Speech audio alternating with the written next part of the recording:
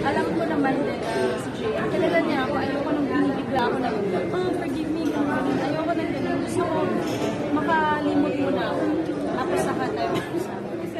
Um, tampo, wala. Galit, wala. Parang neutral lang wala lang talaga. No. Clear naman siya na.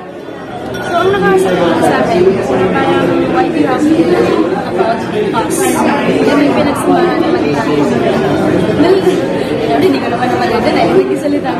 Doon lang ako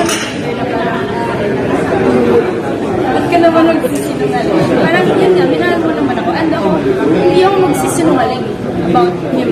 Alam ko, minahal ko siya. Depende, ako, naman, well, honestly, na-meet ko na din naman sa Ate Mia. Oh. First time ko ma-interview ako at Um, for me, may, may time na ako mismo sabi kay Em na I'm stop talking to me na sabi ko, kilala ko si Ate Lia, mabait na tao yun. And ako, happy ako for them. And ayun, uh, totoo naman din mabait na tao sa Ate Lia. Tsaka, mas magkalapit yung age nila. So, mas maintindihan nila yung isa't isa. And sa nakikita ko naman, parang ang, ang nababalita sa akin, okay naman sila. Yun nga, happy ako for them, lalo for him. Kasi, kung okay man sila ngayon, finally, nahanap niya. Hindi rin ako selfish. Yun din yung reason kung bakit nag-let go ako, na kailangan kong mag-let go. Minahal ko din naman yung tao at ayoko na mangyari sa kanya yung mga nagawa niya.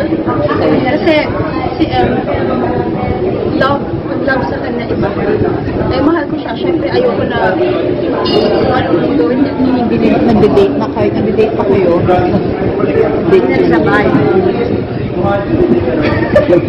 Ah, So, okay. yes or no? Hindi nag-over. O nag-over lang. ate. Okay. I respect you. Ayoko din naman po pumasok pareho na medyo uh, hindi talaga siya. Hindi kami, hindi, hindi alam namin sa isa't isa. Kumbaga parang dalawang tao kami na loaded. Sinatry namin ayun sa isa't isa. And hindi talaga, hindi siya